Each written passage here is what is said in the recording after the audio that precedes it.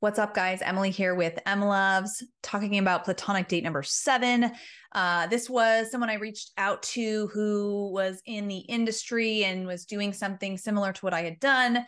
And I thought it was so cool. And I was so nervous to reach out to this person because I felt like they were out of my league.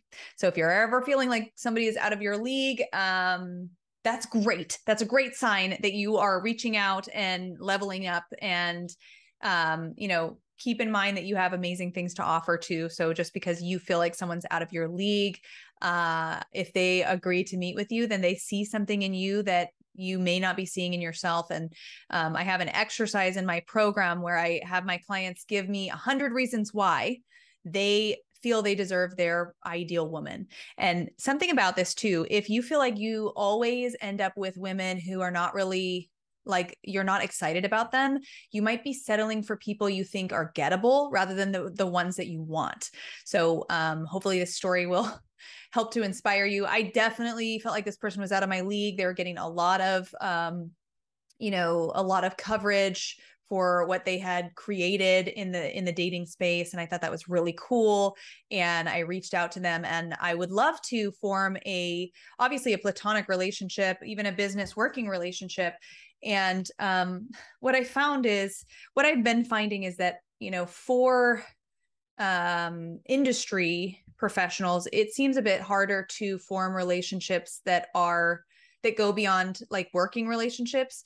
Like you would think that, oh, yeah, the most compatible people are going to be people who do what you do or who are in your industry. And I think that can be the case, but it also um it also can make it feel a little sterile it can make it feel a little competitive. It can make it feel a little bit um, very buttoned up, I guess. And while I felt great about the conversation and um, you know, we had a lot in common, I also felt intimidated, I guess. And um and I I wouldn't know how to move that into a like a friendship um, and i felt that way with a lot of i've done actually several like platonic meetings with people in my industry where i think like what they're doing is so cool and we have so much in common but for some reason um, getting to know them professionally seems to begin a relationship just from a professional level and i find it's a little bit harder to then move that out of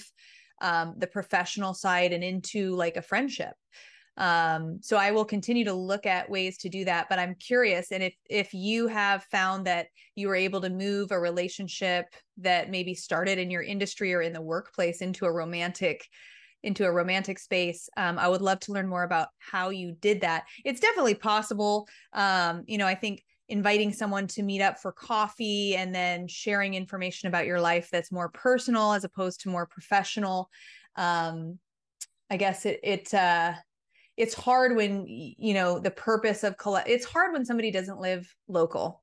So i think for for dating this is a lot easier. You can easily just invite them for coffee and um, intersperse like personal topics into conversation. But what i'm finding is that it's actually kind of weird to um to connect with someone professionally and then try and change the relationship into a personal one. But i also think um you know this person in particular we were very different in age. So i think it could have something to do with just the chemistry that comes from being either like a similar age um or just being local.